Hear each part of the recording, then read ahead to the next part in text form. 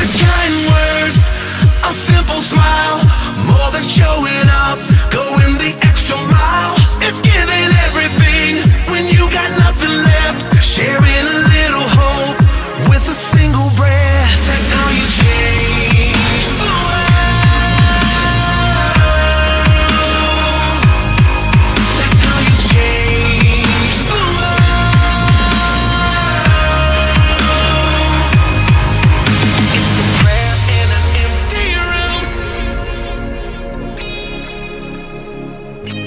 our hands